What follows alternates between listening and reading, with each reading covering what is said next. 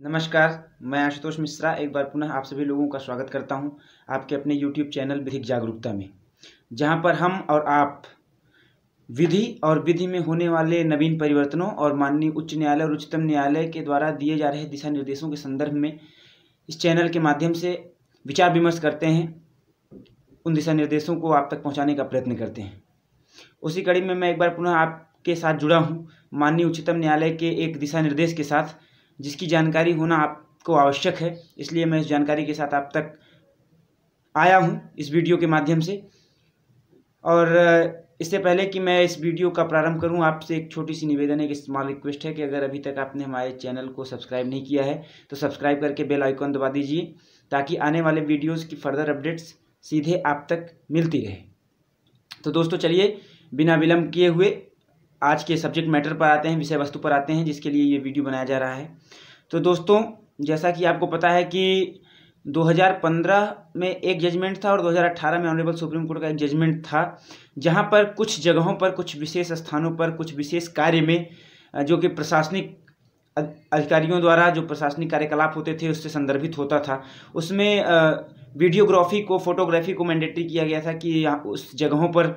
Photography और videography होनी चाहिए ताकि किसी भी प्रकार की कोई दिक्कत ना आए और बाद में अगर कोई इस पर प्रश्न चिन्ह उठाए इन्वेस्टिगेशन पर इंट्रोगेशन पर तो दिक्कत ना हो। और उसी क्रम में दो दिसंबर 2020 को, अभी हाल ही में दो दिसंबर 2020 को, जस्टिस आर एफ़ नरीमन द्वारा एक डायरेक्शन और दिया गया है जो कि स्पेशल लीव पिटिशन एसएलपी के माध्यम से एक क्वेश्चन आया था, उसके जवाब में ये डायरेक्शन दिया गया है ऑल इंडिया में। और उस केस का नाम था Paramvir Singh Saini. Paramvir Singh Saini versus Baljit Singh and others Paramvir Singh Saini versus Baljit Singh and others 2002 दिसंबर 2020 को इसका जजमेंट आया है, इसको आप लोग लिखते जाइएगा। और साथ ही साथ जस्टिस आर एफ़ नरीमान जो है, तीन जजों की बेंच में इसमें मुख्य भूमिका में थे। और इसमें जो जैसे कहते हैं ना कि हमारे यहाँ जजमेंट होते हैं, वो प्रेसिडेंट पर आधारित होते हैं तो इसमें दो पूर्व निर्णयों को आधार बनाया गया है इस जजमेंट में, या इस डायरेक्शन में कह सकते हैं। जैसे कि पहला मामला था D K Basu versus state of West Bengal काफ़ी हाईलाइटेड मामला था। इसके बारे में आप सभी लोग जानते हैं, इसके संदर्भ में हम चर्चा नहीं करेंगे 2015 का मामला है। हम इस इस डायरेक्शन में इस इस केस के माध्यम से जो सुप्रीम कोर्ट ने इस जो हमारा आज का विषय इससे संदर्भ में जो बात कही थी उस पर केवल फोकस करेंगे। इसमें कहा गया था the court court held that in every state an oversight mechanism अब ओवरसाइट मैकेनिज्म का मतलब यही होता है कि जो भी इन्वेस्टिगेशन और इंट्रोगेशन करने वाली एजेंसियाँ होती हैं और उन, उनके ऊपर की जो जो उनके, उनको कंट्रोल करने वाली जो अथॉरिटीज़ होती हैं स्टेट के अंदर सेंट्रल के अंदर और डिस्ट्रिक्ट लेवल पर D L O C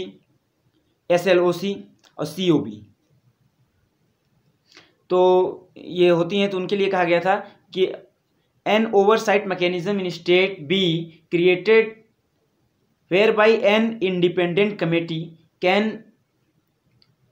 study T V footage and periodically publish a report of मतलब 2015 में अपने इस जजमेंट में ऑनरेबल सुप्रीम कोर्ट ने ये कह दिया था कि सीसीटीवी कैमरों के को आधार बनाया जा सकता है। एक जो भी एसएलओसी होते हैं या डीएलओसी होते हैं इसके जो भी हो, सदस्य होते हैं अगर वो कोई इन्वेस्टिगेशन करना चाहते हैं तो वो सीसीटीवी फुटेज के आधार पर अपने इन्वेस्टिगेशन को आगे बढ़ा सकते हैं और इस आधार पर वो पीरियडिकली एक रिपोर्ट भी पब्लिश कर सकते हैं। और साथ ही साथ 2018 में सफ़ी मोहम्मद वाला मामला ये भी काफ़ी हाईलाइटेड मामला था। इसको भी इसमें आधार बनाया गया है। Safi Mohammad versus state of Himachal Pradesh 2018 का मामला था। इसमें सुप्रीम कोर्ट ने कहा कि a central oversight body C O B be set up by the ministry of home affairs to implement the plan of action with respect to the use of videography in the crime scene during the investigation मतलब कि उन्होंने कहा कि जो भी COB यानी कि central oversight body अब सेंट्रल ओवरसाइट बॉडी में आप देखिए क्या क्या आता है जैसे आप जान लीजिए सीआईडी सीबीआई एनसीबी ये जितनी भी हैं हमारी आ, मतलब कि सेंट्रल कंट्रोल मतलब मिनिस्ट्री ऑफ़ होम अफेयर्स के द्वारा आ, स्थापित की हुई जो भी एक हैं जो इंट्रोगेशन या इन्वेस्टिगेशन इन्वेस्टिगेटिंग एजेंसियाँ हैं। उनके संदर्भ में कहा गया कि उनके, उन, वो अगर जो क्राइम सीन पर जाते हैं किसी चीज़ का इन्वेस्टिगेशन करने के लिए, किसी का इंट्रोगेशन करते हैं तो उसके लिए वीडियोग्राफी की आवश्यकता होती है ड्यूरिंग द इन्वेस्टिगेशन ये आवश्यक था। और उसके लिए उन्होंने 2018 में तीन अप्रैल 2018 को ये डायरेक्शन था। और उसके बाद उन्होंने सभी स्टेट और यूनियन टेरेटरीज के जो होम सिक्योरिटी क्या कहते हैं, प्रमुख सचिव थे, उनको ये पत्र भेजा था। और साथ ही साथ सब, सबसे एक एफिडेविट भी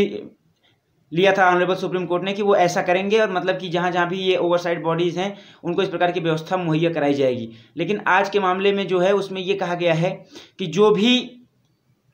जितनी भी मतलब भारत के अंतर्गत जितनी भी इन्वेस्टिगेटिंग एजेंसी है या इंट्रोगेटिंग एजेंसियाँ हैं मतलब कि वो पुलिस थाने से लेकर के सीबीआई सीआईडी जो भी है, चाहे वो ऑफ़िस ऑफ़ डीजीपी हो, चाहे वो ऑफ़िस ऑफ़ आईजीपी हो, चाहे वो ऑफ़िस ऑफ़ डीआईजीपी हो, चाहे वो office of superintendent of police हो एसएसपी हो, किसी का भी हो, वो ऑफ़िस हो, चाहे एसएचओ का ऑफ़िस हो सीईओ का ऑफ़िस हो मतलब डीएम का ऑफ़िस हो कमिश्नर का ऑफ़िस हो, जहाँ पर भी मतलब पब्लिक जाती है और वहाँ पर पब्लिक को परेशान होने की ऐसी संभावना है या ऐसा माना जाता है कि वहाँ पर पब्लिक को परेशान किया जा सकता है, उसे मेंटली या फिजिकली हरास किया जा सकता है। ऐसे हर जगह पर ऑनरेबल सुप्रीम कोर्ट ने ये कहा है कि वहाँ पर सीसीटीवी कैमरे की व्यवस्था की जाए और साथ ही साथ ऐसे सीसीटीवी कैमरे की व्यवस्था की जाए जिसमें ऑडियो रिकॉर्डिंग मतलब ऑडियो विजिबिलिटी होनी चाहिए। मतलब आवाज़ भी आए और दृश्य भी दिखे। इस प्रकार की व्यवस्था करने को कहा गया है और साथ ही साथ ये भी डायरेक्शन दिया गया है कि इसको 18 महीने तक स्टोर करके रखना मतलब सीसीटीवी फुटेज को 18 महीने तक आपके पास स्टोर करके रखना होगा।